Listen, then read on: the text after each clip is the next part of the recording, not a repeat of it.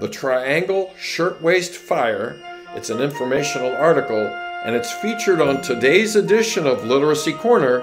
I'm Mr. McCoy, your host. Here it comes now.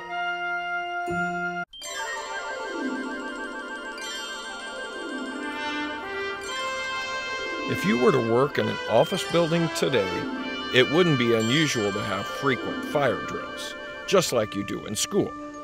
And it wouldn't be unusual for a fire marshal to walk through the office floors making sure that there was not too much trash cluttering the halls.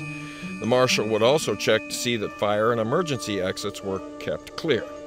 Sadly, fire safety was not always been so carefully practiced and observed. In fact, many years ago in a factory in the middle of New York City, fire safety was not practiced at all. Here comes the Triangle Shirtwaist Fire.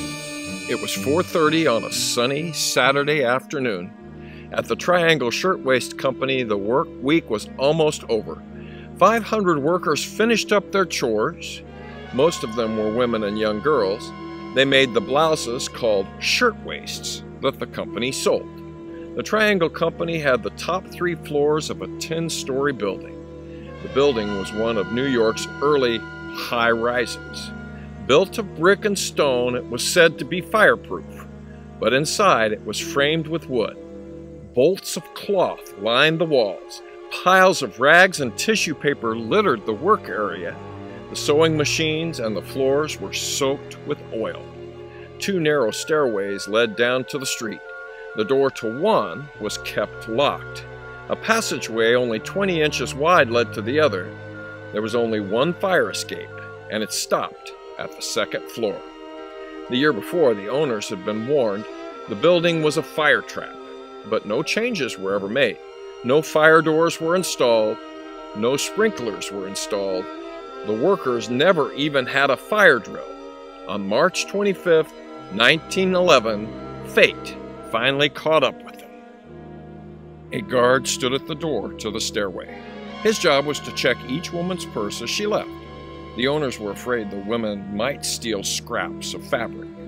They were lined up, ready to file out. Then a young woman ran to her boss.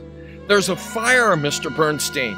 It wasn't the first fire in the shop. There had been many other small fires.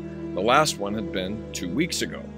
Now the men sprang into action, but this time the fire got away from them. They threw pails of water on it, but the water only seemed to spread the flames. The manager called off his men. You can't do anything here. Try to get the women out.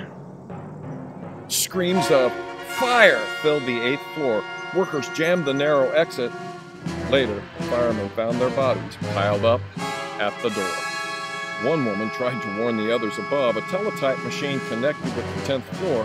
The fire raged around her, but she sat down and started typing. A clerk on the 10th floor took the message. The place is on fire. It read, Run for your lives. They thought it was a joke, but within minutes the fire came in through the windows. On the ninth floor, they had no warning at all. There were two freight elevators. The frantic workers crowded in.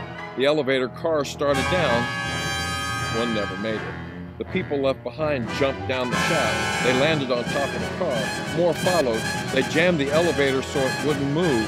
Afterwards, 19 bodies were found wedged into the shaft. On the street below, a crowd was gathering. At 4:45 p.m., the fire trucks had arrived, but there was little the firemen could do.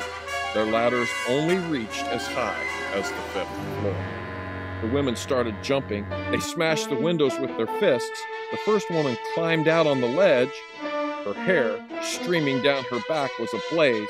She held out her arms as if sleepwalking and stepped off. From different windows, three more followed. In all, 46 women jumped to their deaths. Some of them held their hands in a group jump.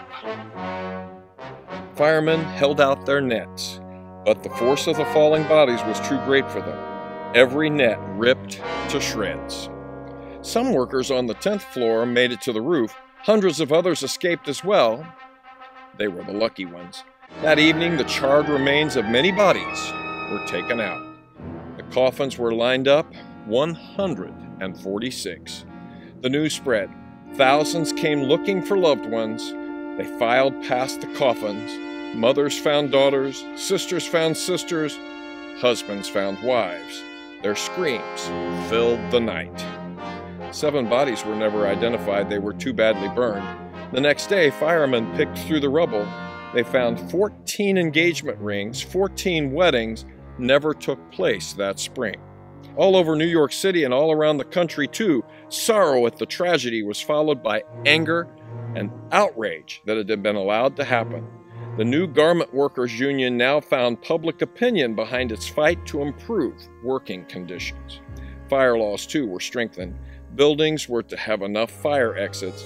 Regular inspectors made sure that exits were kept free and the fire extinguishers were working. Materials that night caught fire and were no longer allowed to pile up on the aisles. Fire laws, too, were strengthened. Buildings were to have enough fire exits. Regular inspections made sure that exits were kept free and the fire extinguishers were working. Materials that might catch fire were no longer allowed to pile up in the aisles. Fire drills became part of the routine. Not all fires can be prevented, but everything has to be done to make sure that there will never be another disaster like the Triangle Shirtwaist Fire. So, what happened in the Triangle Shirtwaist Fire? Share with your fellow listener. This edition of Literacy Corner has come to an end. Another is coming soon.